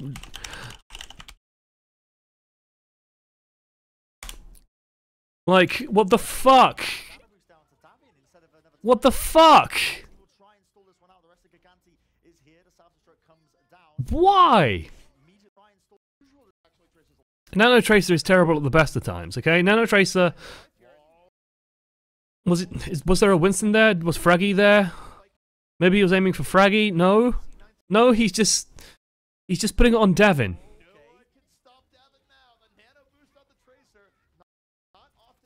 And oh look. Space just pressed right mouse button and stood on a D.Va health pack and didn't give a shit. And now Davin's hacked, and now Davin is dead. The bomb's nice. Good attempts. immediately moving into the back line. Obviously, not too much is going to come of it. Sound barrier does actually manage to go off on both sides, so the follow-up kills on the EMP were not great. So there is an opportunity for Gigantti here to come in. The distraction tracer did manage to sort of brute force an EMP, I guess. Maybe. Let's let's let's say that the the distraction tracer did that, but Mikey MGE Mike, the legend. negate the sound barrier on the side of Gigantti. I believe he was a demo man player in TF2. He knows how to put a grenade in the right place at the very least. The pulse bomb goes in. Everyone fucking cuddles up in this small room. Wait for it.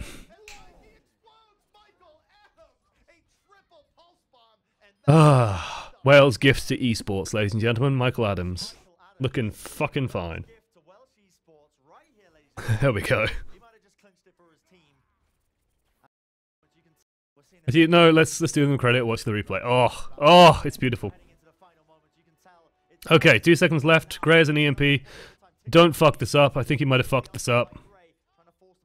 Gray no. No, no, no, no, no, no, no, no, no. You fucked this up. Is. You, you, you fucked up. There was a rush of blood to the head there. There, there was a, a bit of a, a there was there was a bit of a um. Oh, I, I just need to press Q and we've won this, right? and he presses Q. And he doesn't hit Linkzr. And I don't think he hit Zappis. He didn't certainly didn't hit Shaz. Because there's a grenade out. And Fragi gets a nano boost. Too early. Way too early. Way too early.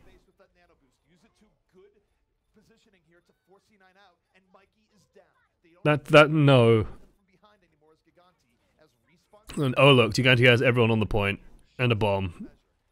And the reinforcement and the reinforcement distance because this is Volskaya is fucking enormous, and in the line of sight of the enemy team, you're not getting back on this. And Gray has no ult charge. Gigantti can run in here, and Linkzr can Dragon Blade, and they can just win. Ultimates to use, and Cloud9 are not. Nevix has swapped to Doomfist. I find this questionable. Nevix is being focused. He punches Fragi. Fragi punches him back as a huge angry gorilla. Beauty of a pulse bomb from Davin. Links uh, blades. And oh look. Mikey. Mikey's good.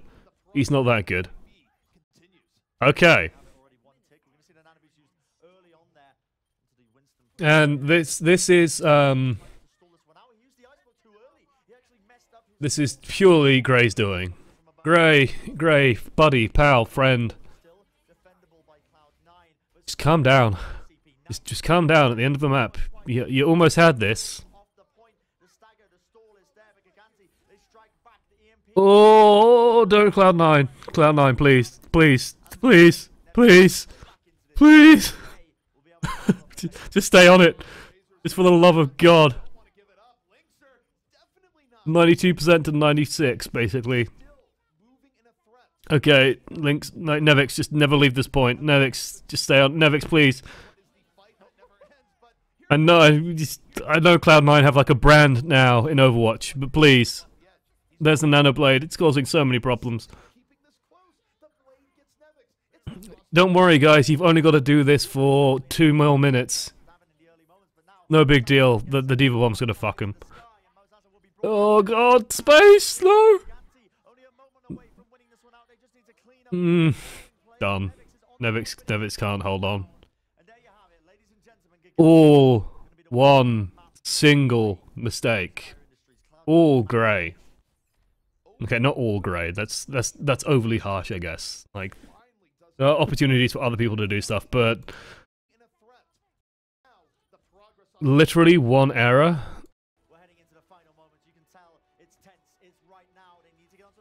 Just a lack of patience here. And yeah, as chat rightfully says, it would be nice if you could see who was EMP'd on the interface and who isn't. But I think Shaz definitely isn't. So yeah, Shaz is so far back that he doesn't get hit by it. There's no kills off the back of the EMP. Linkzr is also free to go in. So Linkzr starts getting kills and starts snowballing, and there's just so much healing coming out of Shaz, and then the Nano Winston just will it find any kills? Not quite. is kind of unstoppable.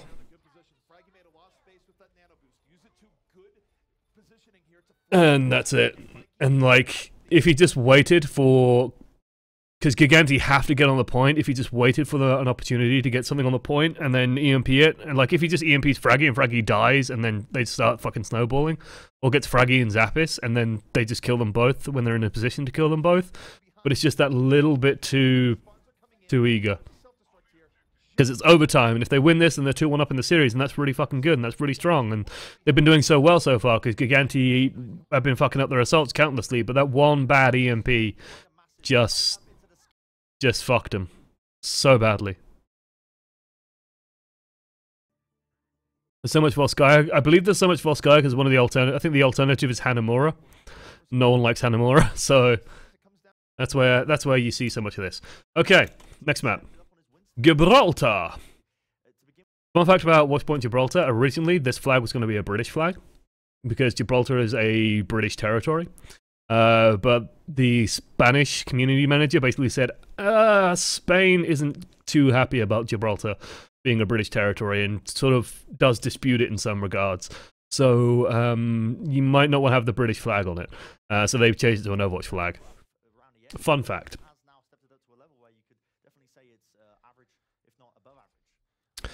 Okay, Cloud9. defense here for Gigantti will be I somehow doubt the the Widow Hanzo combo. The Hanzo isn't atypical. Hanzo you just run out of spawn, shoot a sonic arrow on the side of the wall like here. So you just shoot a sonic arrow here, you see if anyone's up here, and then you can take this territory if you need it. Uh, otherwise, he's going to swap right back to Winston. And there you go. Defensive lineup, dive, nothing too atypical. You sometimes see Widowmakers coming out on this map because Widowmaker's very strong on this map. Lots of good sight lines for her, lots of good opportunities to put pressure on, but team's not opting for that. HP having a, a good time pushing the payload. He's AFK. He's tweeting. He's just he's he's on Twitter. Cloud9 really break through because No issue. This is an interesting uh, defensive position. That is a beauty of a grenade, though. Holy shit, that is. Shaz just fucking wins that for his team straight away. Two supports, Andy healed, Winston D.Va jumping on them. Davin's even there. Linkzr gets in the back. Fucking easy. So easy. Shaz, what a god. Mikey punches back. I mean, he, he's pretty good. Mikey Nevix proving to be a really fucking good uh, combo. Like, these guys are doing work, but feels too little too late, to be honest. They just need to make sure they don't die. If they die, that's fucking awful. Um, if they don't die and stay alive and hold this territory, they can keep pushing, which is what they're doing now. Boosted Winston goes in. They just need to avoid him. It looks like that's what they're doing. The Boosted Winston does nothing. Does eventually get Gray. It's honestly, it's an okay one kill for a Boosted Winston. Not too big of a deal. Zappis here.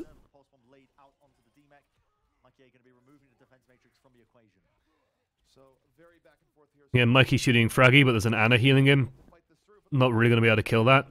And pressure on this Ana would be nice at some point. That would be more up to Nevix and Malzahzar. Mikey just needs to get out. Gonna get out, pick up the health pack.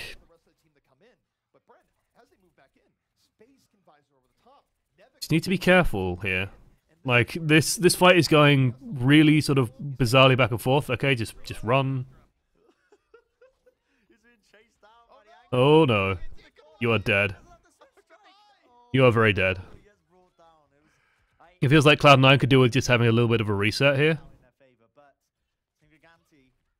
Like, hmm. Primal Rage has staggered it out, and now we're down to a minute 57 to If there was a Falklands map, would they call it? If there was a Falklands, they would not. Blizzard would never put in a Falklands map because it's that is way too much of a political hot button. Do or die time now for C9. Nevins is gonna have to restore his Legally, the territory is British. That is my opinion on it. The people on that island want to be British. They are British. Pressure on the Ana. Ana goes down. Beautiful. Sombra now to engage. The Dragon Blade for the Ana feels worthwhile. If you can get more, that's just a bonus. Does get run over by Zappis. But this is going to free Mikey up a lot as well, I think, to do stuff. But no. Links uh, counter punches with the, grav- uh, with the Dragon Blade as well. Not too big of an issue. No support ultimates left on Gigantti. This is why the Ana is always a risk. So I'm guessing they nano bladed. Shaz to begin with. Have to restore his available and ready to use here for them. do or die. Shaz, what did you boost? Shaz has boosted something. Is it the Winston? It might be the Winston. It's the Winston. Okay, fair enough. Linkzr goes in with his blade, counter punches. That's enough to win it. Well, that Chinese Taipei, yeah, Chinese Taipei is like Chinese Taipei is also Blizzard wanting to be friendly with China. Let me put it that way. They don't want to piss China off, even though everyone was just calling them Taiwan. composition. I've seen mixed results of it. I, it's not a great composition to run against this sort of diet. Like putting Israel as a map or something. Jesus. Yeah, I don't think Israel is. Israel is a complicated issue. Let's let's put it that way. I don't want to talk about Israel at the moment. Um. I think Davin just ends this fight pretty much immediately. Like they just walk into a fucking Winston and Davin just cleans up. When so much damage is coming into them like this, when do you get the opportunity to use it? That was an enormous bio grenade by Sh- With space up their sights of it, What the fuck happens here? Everyone just dies. Cloud9 clearly think they have something up their sleeves with the Ultimates Online. They've got support ults. They've got the f- a- offensive ult. Oh, grenade. Yep. Another, like literally the same grenade that killed them the first push kills them this push.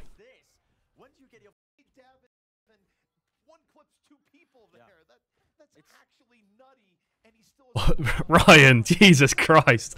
Okay, It's the lack of defense. Cloud9, like, these pushes have felt super sloppy. Super sloppy. Like, Shaz is getting these grenades so fucking regularly as well.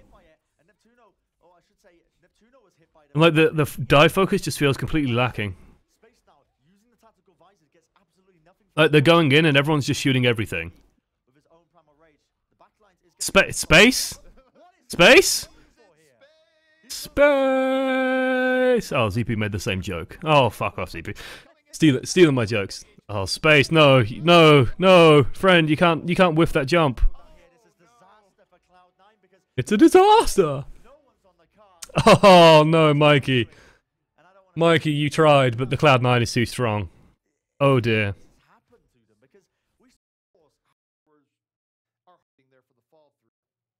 Oh dearie, dearie me. Okay. Oh, Overwatch flags absolutely everywhere. Talon for life, yo. the bootstraps because they got a lot of work to do here in this car wash section. So Composition the- Cloud Nine in a lot of trouble here. Um, there, there's no polite way of saying it. Oh look. Oh wait, no, that's Nevix. Nevix, can you teach Space how to do that jump? He kind of needs the training. But that just felt sloppy by Cloud9. Like every single time they went in, it's like they just didn't have a focus. the kind of But C9 on their attack didn't even get to the point. The yellow box is further up. It's kind of rough. It's going to affect their decision making where they have to take risk after risk in their attempt to even this out. Gigantti meanwhile Opening with the Widow. Link's uh, very proficient on Widow. Back when Widow was meta, he was one of the better ones. Um, and still has that as well. just looking for sight lines. Like the fact that Widow's on the map and is it just has a huge impact on how the enemy team defends. It's like Cloud9 want basically I would not be surprised if Cloud9 wanted to take some engages here because they have Gray on the Sombra, right? So you want to have a little bit of a fight. You want to you want to have a little bit of a, a ruffle, a rough and tussle. You know, you want to you want to hit each other a little bit because then you go back and you pick up the health packs and you have EMP. Widowmaker's presence means that if you poke out, you, you can just die. And so it's like you, you can't do poke battles anymore because Widowmaker's there and she's gonna fucking nail you in the face and that's it. You're done.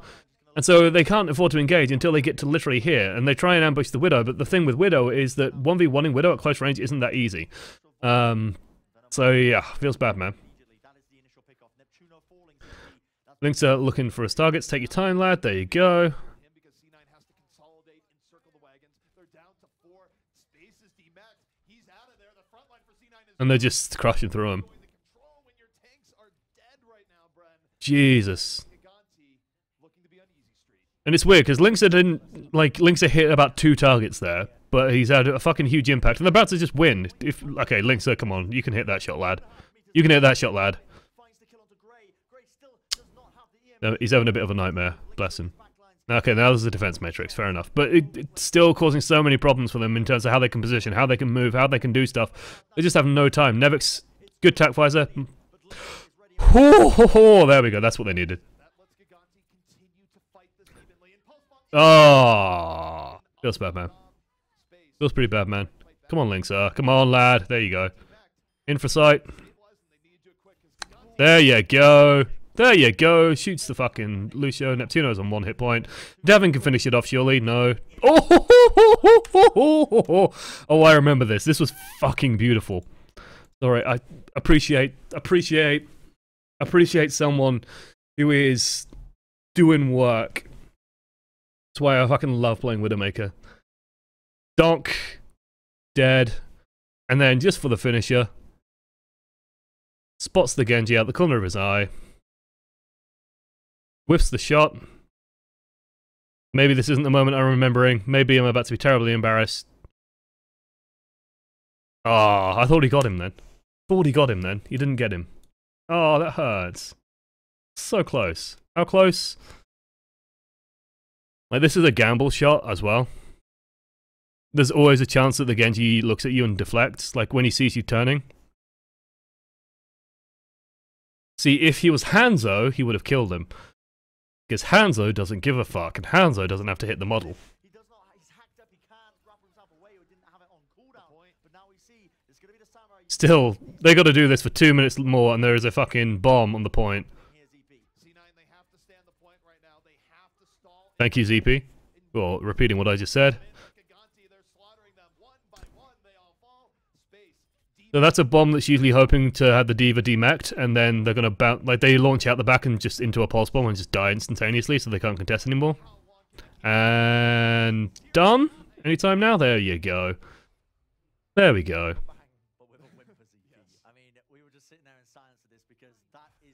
There you with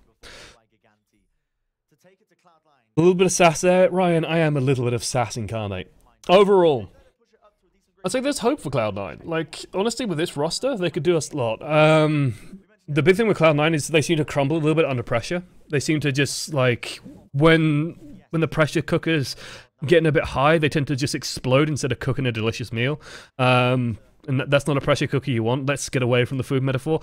Uh, they they just need to calm down a little bit. They should know their tactics. They should know what to do. They should know how to react to this sort of stuff. And if they just play the game, like they could have easily won Volskaya. They could have very easily won Volskaya. Then here on Gibraltar, they just seem to do the same thing over and over and over again, get picked over and over and over again. Maybe instead of running the triple DPS, they can run a D.Va instead. I think they're running triple DPS.